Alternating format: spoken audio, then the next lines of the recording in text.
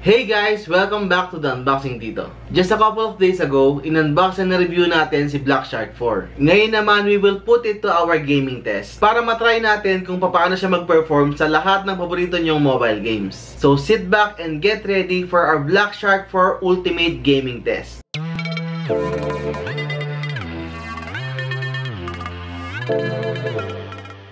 Before we proceed, don't forget to subscribe to my channel for more unboxing and tech reviews. It's just one click pero malaking tulong talaga sa paglago ng channel ko. What better way to try out the physical triggers than playing first-person shooter games? So for our first game, let's play Call of Duty Mobile. For me, yung physical gaming triggers niya ang nag-classify kay Black Shark 4 as a legit gaming phone. And with FPS games like CODM, dito mo mamamaximize yung feature na yan. Mas madali kasi maglaro dahil yung thumbs mo focus na lang sa movement and panning. Then yung index finger mo, nasa physical triggers naman, so mas madali bumaril. Sana yan lang din. Pero once you get the hang of it, mas may improve yung gameplay mo. Napansin ko din na mas okay yung haptics ng mga gaming phones compared to mid-range or even flagship phones. Iba kasi pag may X-axis linear vibration motor ka na similar to the ones implemented with Xbox and PlayStation controllers. Yung weight niya is 210 grams and surprisingly, hindi siya masyadong nakakangawit sa kamay even for extended hours of gaming. After 3 multiplayer games and 1 battle royale match, let us check yung temperature. For the CPU temp, it's 48 degrees and yung battery 42.8. Para sa akin, mas madali maglaro ng mga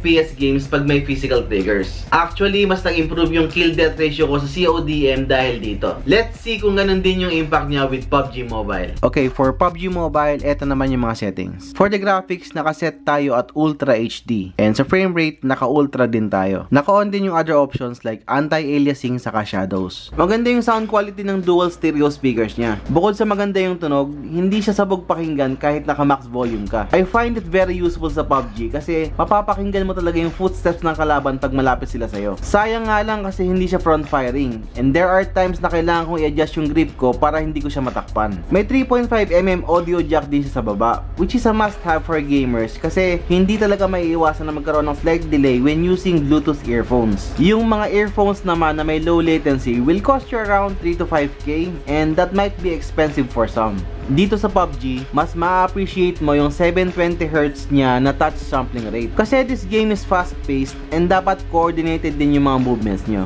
I'd say na na-improve niya tremendously yung experience ko in both CODM and PUBG dahil sa mga physical triggers. After playing two classic games, yung CPU temp is 47.3 and yung battery 40.8 degrees. Okay, next game na tayo. Yung next game natin is Asphalt 9, which has a ton of nitro-induced car collisions and heavy visual effects. Let's see kung paano i-handle ni Black Shark 4 si Asphalt 9. Yung screen natin is a 6.67-inch E4 AMOLED screen with a peak brightness of 1300 nits. Its display size is the smallest among gaming phones, pero mas malaki naman siya sa average size ng mga regular phones. Hindi naman siya major issue for me dahil when it comes to gaming, a bigger screen is not always better. Kasi kapag smaller yung screen nyo and same lang sila ng screen resolution, in result, mas magiging sharper yung images niya. This phone has a 144Hz screen refresh rate which is perfect for this game kasi mas smooth yung galaw ng lahat ng mga visual animations. Ang daming sabay-sabay nangyayari dito sa game na to pero wala kang mapapansin na stutters or screen freezing. Saktong-sakto lang din yung color saturation niya. May mga ibang AMOLED screens kasi na oversaturated yung mga colors pero with the Black Shark 4, balanced lang yung dating niya. After 5 races sa Asphalt 9, yung CPU temp is 44.2 and yung battery 40.3 degrees. Next game is for our MOBA fans out there. Unahin natin yung favorite game ko, si League of Legends Wild Rift. For League of Legends Wild Rift,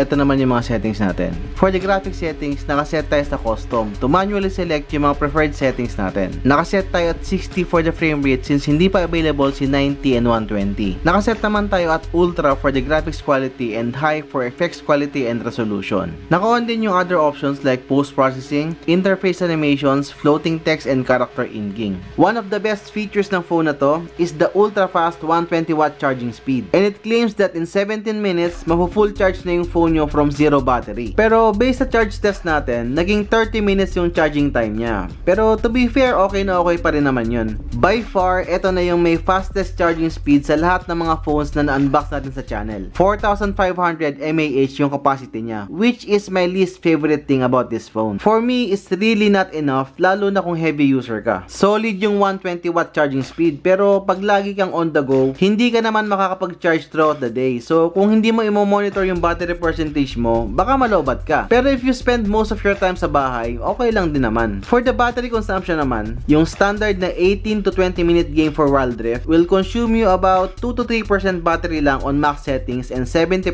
brightness. Wala din ako na-experience na lags even with team fights. With other phones kasi, minsan nag-FPS drop pag may mga clashes. Pero this phone handled the game flawlessly. After 2 ranked games sa Wild Rift, yung CPU temp 49.2 and yung battery 41.2. Okay, next game naman tayo. Mobile Legends naman yung laruin natin. Para makita natin kung paano ba siya mag-perform. And tingnan din natin kung may connectivity issues ba siya while playing. For Mobile Legends, ito naman yung mga settings natin. For the graphics, since bago pa lang si BS4, wala pa tayong ultra settings. So for now, high pa lang yung gagamitin natin. Naka-on din yung other options like outline, shadow, HD mode, saka HFR mode. Wala ako na experience na connectivity issues habang naglalaro. Both Wi-Fi and LTE, steady na yung ping ko. This is also a 5G capable phone. So if you are using a 5G SIM, for sure wala kang magiging problem sa connection. Since kaka-release lang niya, wala pang ultra settings. Pero ma-optimize din yan soon for sure. Kaya abang-abang lang tayo. Enabled naman yung HFR mode. Kaya the game will still run smoothly even with team fights. Similar sa Wild Rift, yung battery consumption niya is at 2 to 3% per game. So not bad na kahit maglaro ka ng matagal. You could also assign your physical triggers with this game game. Pero mas prefer ko gamitin yung on-screen buttons, kaya default settings na lang yung ginamit ko. Kung sanay ka naman sa gaming phones, yung weight niya na 210 grams might not bother you, unless compact phone yung gamit mo dati. After 2 rank games sa Mobile Legends, yung CPU temp is 46.5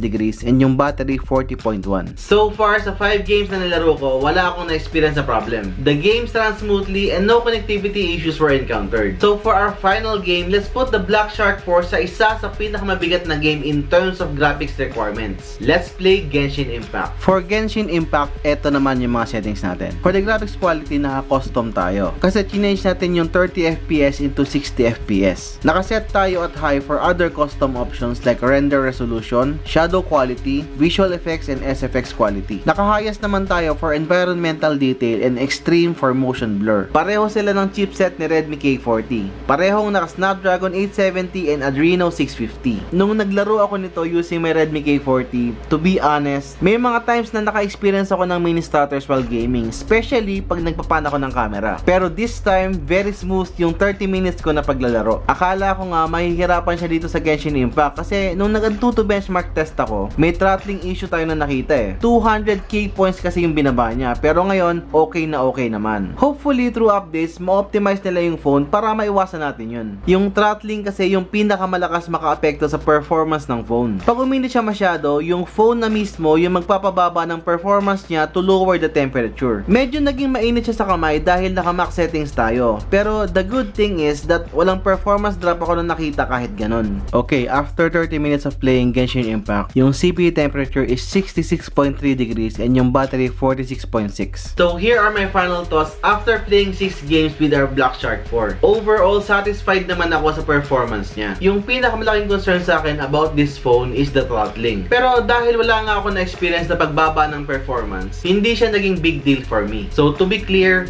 meron tayong throttling issue na nakita sa benchmark test. Pero yung actual impact niya sa gameplay, wala naman ako nakita. Yung performance niya sa gaming phone sa ganitong price, sobrang panalo ka na lalo na kung FPS games talaga yung lagi mong nilalaro. Kasi dyan mo talaga mapapakinabangan yung physical triggers niya. So what do you guys think? Yung Black Shark 4 na ba yung gaming phone para sa'yo? If you have questions and suggestions for our next video, hit me up in the comments down below and I'll make sure to reply. So that's the end of our video and I hope you guys liked it. Thumbs is a plus, subs is a must. I'm the Unboxing Tito and I will see you next time.